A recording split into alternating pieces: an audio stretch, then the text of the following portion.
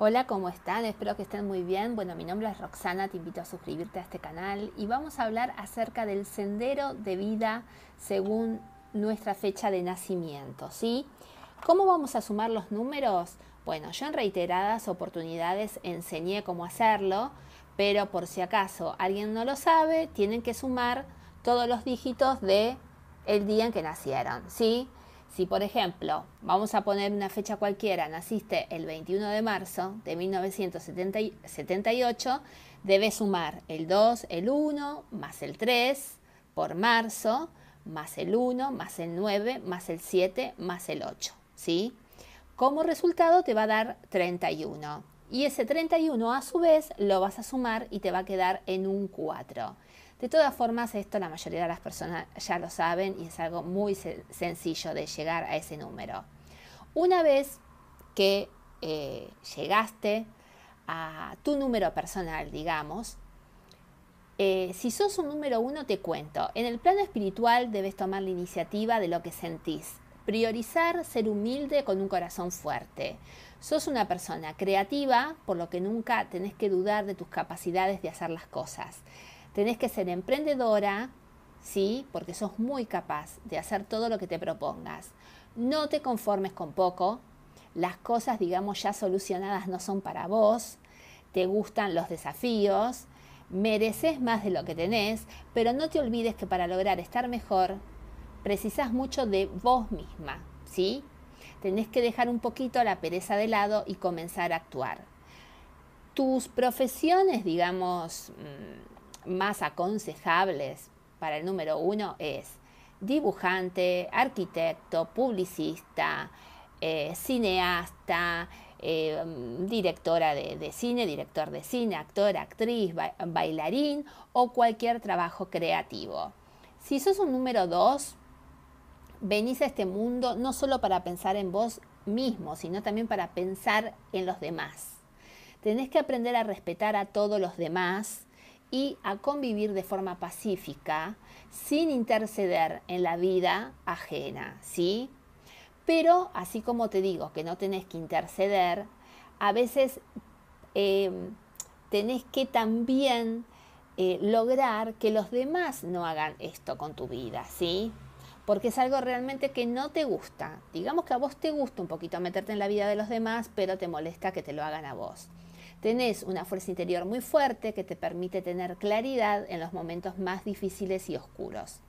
En el plano profesional, los trabajos que se ajustan a los números 2 eh, son, por ejemplo, todo lo que eh, refiere a finanzas, negocios, trabajos en equipo, sos un excelente líder, ¿sí? que las personas acuden en momentos difíciles.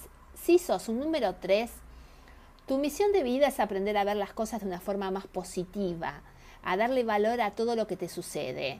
Tenés que desarrollar confianza en vos misma, ¿sí? Para lograr tener un alma fuerte. Vas a tener que luchar para lograr un estado mental despejado y libre de pensamientos negativos y oscuros. Sos un ser abierto que deseas formar un círculo social amplio, pero no siempre lo vas a lograr.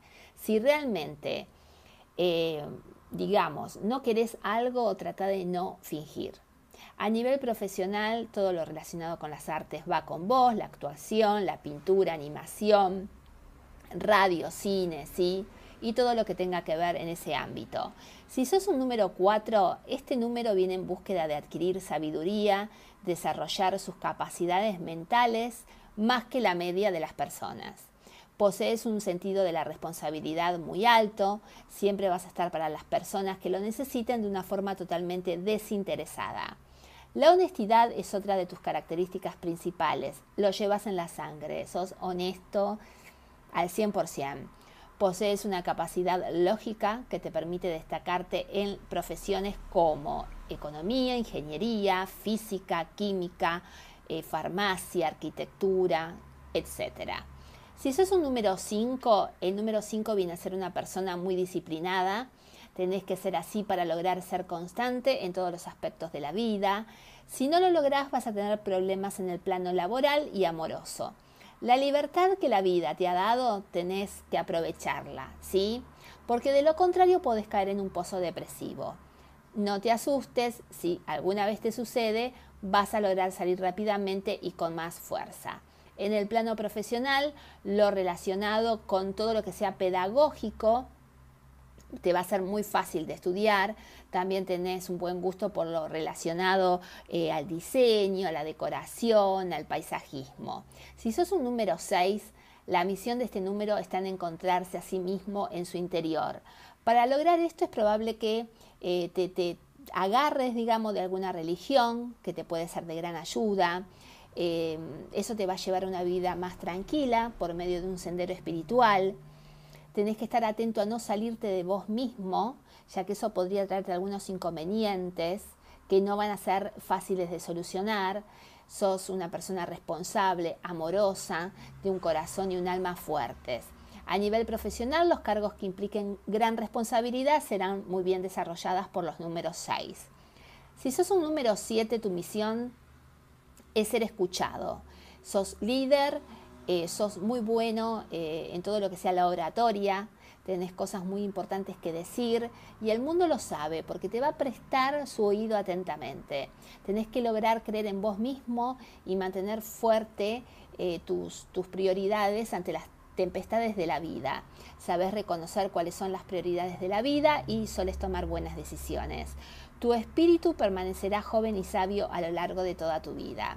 Profesionalmente te viene bien ser economista, político o eh, trabajar en todo lo que sea social. Si sos un número 8, tu misión es aprender a, a creer en vos mismo, a manejar tu energía y a ser más tolerante. Si logras estos aspectos no vas a tener inconveniente alguno. Sos un ser fuerte, con confianza en vos mismo y podés afrontar todo lo que se te interponga. En otro plano deberás luchar para no verte tentado ante el dinero y las cosas materiales si logras desarrollarte espiritualmente esto no va a suceder. Sos perfecto para trabajar en relación de dependencia como en una pequeña empresa o en una multinacional. Y por último, si sos un número 9, tu misión es tener un buen desempeño en todas las áreas de la vida, sos una persona dotada que está en la vida para desarrollar y concretar cosas y proyectos, debes terminar todo lo que comenzás porque así es tu naturaleza. Eh, dejar las cosas por la mitad no es tu estilo. Tenés una gran capacidad para dar amor y ser comprensivo con otros. Por esta razón, son muy requeridos los números 9 y queridos por las personas del entorno. Como profesión te funcionaría bien. Eh, ser eh, por ejemplo, eh, diseñador gráfico, programador, comunicador social, escritor y cualquier otro trabajo social o cultural que, que te guste hacer, ¿sí? Tenés como un abanico amplio de posibilidades. Espero que esto les sirva. Recuerden eh, siempre tienen que dejar su número de nacimiento en un solo dígito. Eh, tomen el ejemplo que di al principio. En la cajita de información que está debajo de este audio voy a dejar un ejemplo por si se le es más fácil.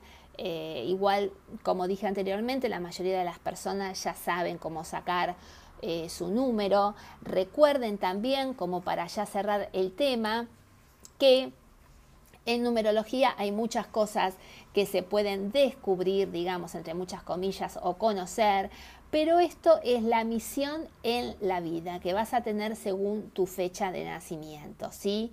A partir de este número que viene de tu, de tu fecha de nacimiento, vas a poder enfocarte para saber encaminarte en tu vida, ¿sí? Y saber a ciencia cierta cuál es tu misión. Convengamos que a veces tenemos eh, de una forma muy certera lo que queremos hacer, pero otras veces no es tan fácil darnos cuenta de lo que nos conviene, de para qué somos buenos, ¿sí? La misión es el lugar hacia donde nos vamos a dirigir y los objetivos ¿sí? que debemos cumplir en este mundo terrenal. Te va a dar las coordenadas para concretar diferentes aspectos del plano emocional como material. Así que te invito a que prestes mucha atención a que sigas el consejo de los números y bueno, espero que esto sea de mucha ayuda para todos ustedes. Namaste.